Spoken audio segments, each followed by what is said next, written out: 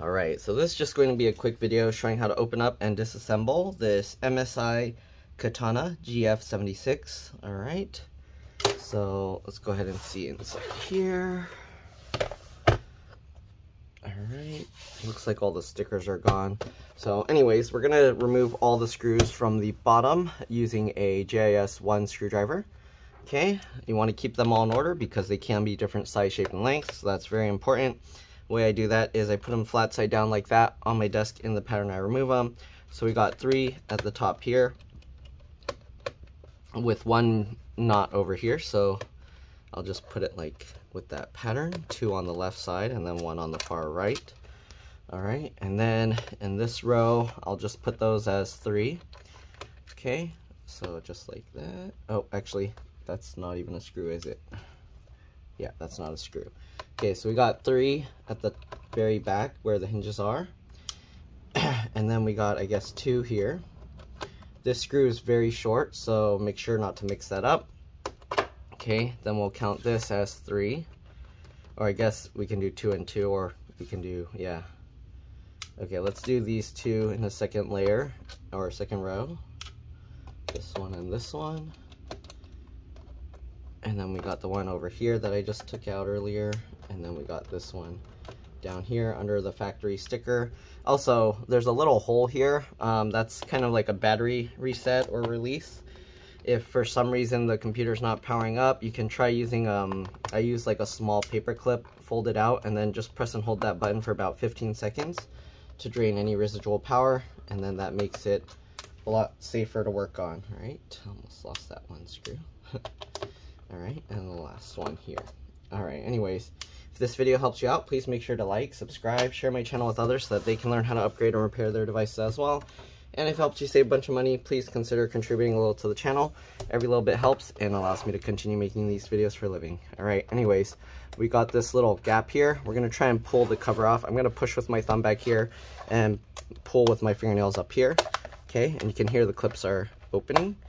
Okay, just like that. Of course, you can use some plastic pry tools if you can't do this with fingernails, um, but I like to use my fingernails. And then also now I'm pushing with my thumbnail down and pulling up with these, and that helps, you can see, pop it up.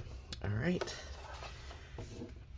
All right, then on the back here, you have the little clips here, which are gonna be a little bit difficult to get to, but just kind of get in between there.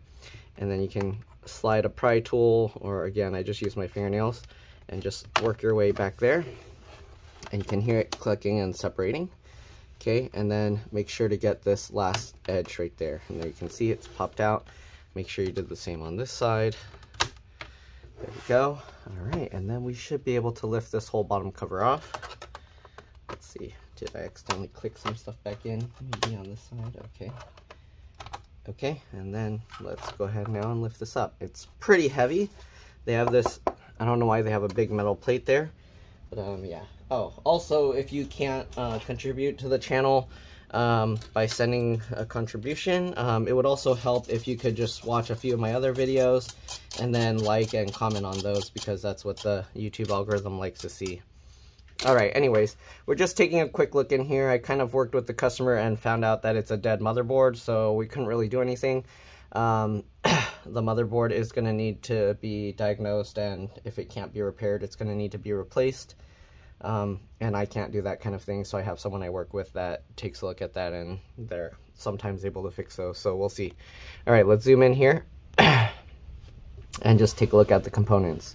So we have one fan here with the connector. Um, this kind of just pulls out by I use my fingernails and just wiggle at the wings of the oops, wiggle at the wings of the connector. This cable's a little in the way, but I just wiggle and pull, and there you go. It pops out like that. All right.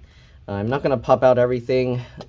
I'm just going to kind of show what's going on. You got the GPU here soldered underneath this heatsink and the CPU here soldered underneath this. So it's not replaceable unless you have some very special tools, but then if you have those, you know that you'd either be able to replace it or not.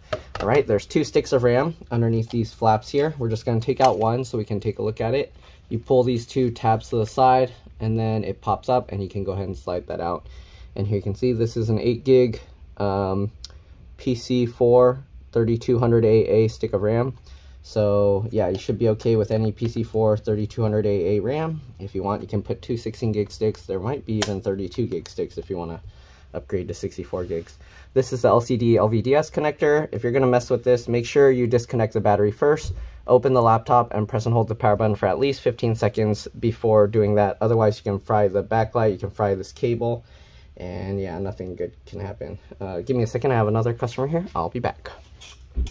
All right, I'm back. So first thing, let's go ahead and disconnect the battery. I'm not really going to work on this because we took it apart and already found it's a motherboard, but basically you grab this cable and just wiggle it side to side as you pull and it should come out just like that. There's an M.2 PCIe NVMe SSD right here. All right, one screw. Then you can pull it up kind of like the RAM. There are little thermal pads underneath that make it hard to pull this out. So you're gonna slowly, carefully pull this up, okay? Very slowly, don't try and force it just very slowly until it releases from the pads underneath. Okay, the pads might come up with it or they might separate. This one stuck and this one stayed down, but there you go. Again, M.2 PCIe NVMe SSD. Then we'll push that back in. I like to push both sides so that way um, if one piece is kind of not too strong, it doesn't rip it out of the board. Okay, and there we go. We'll get that screw in. Again, I'm not going to be taking this out. Um, then we got the connector here for the two USB ports on this side. All right. And that's interesting. Why one is USB 3 and one's not? Interesting. Huh. I don't know why they would do that, but one's USB 3 and one's not. All right, you got another fan here with the other connector there. DC jack or charge port connector here.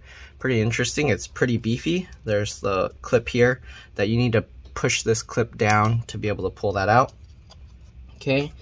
And the DC jack charge port goes underneath the hinge over here. So that's kind of a pain if you need to remove the um, charge port. You at least you either need to remove the entire motherboard or the heatsink. And if you remove the heatsink you have to redo the thermal paste. So keep that in mind. All right. You got the wireless card here. And you have a two and a half inch SATA hard drive connector here. You can also put a two and a half inch SATA SSD obviously um, you got the speaker connector here, one wire is going there, and then the other wire is running across, all the way across to the other speaker here. And I think that's pretty much it. Oh, the CMOS BIOS RTC real-time clock batteries here. It's kind of a small one, as you can see, and it just plugs in right there. Um, if you're replacing this, take note, the red wire is going up towards the battery, and the black wire is going down towards I guess, the main battery. So the red wire is going up towards the GPU, I guess. All right. And I think that's pretty much it. Hopefully this video helped you guys out, at least so you can upgrade and kind of know what's inside your computer. And yeah, other than that, we're going to put this thing back together. Okay, again, hopefully this video helped you guys out. If it did, please make sure to like, subscribe, share my channel with others so that they can learn how to upgrade and repair their devices as well. And again, if it helped you save a bunch of money, please consider contributing a little to the channel. Every little bit helps and allows me to continue making these videos for a living. Alright, again, if you can't do that, um, it helps a lot if you can just watch a few of my other videos and then comment and like them as well. And yeah, that's pretty much it. Let's go ahead and click and snap all of this back together. Okay, and then get all the screws back in. And that's pretty much all there is to it. And yeah, you're welcome to stay as I get all these screws back in, but we're good to go. All right. Again, I don't know what happened with this computer. He said just one day it just stopped working. So, yeah. All right. Let's get all these screws and stuff back in.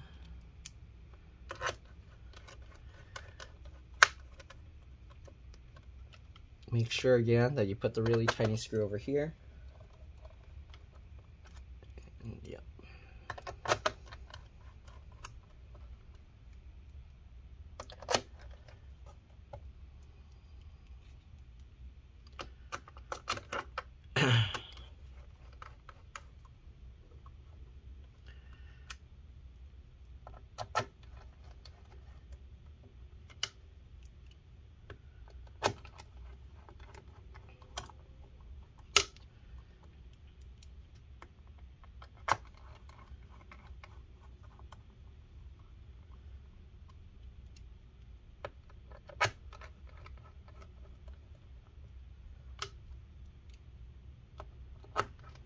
Last screw. And that's pretty much it.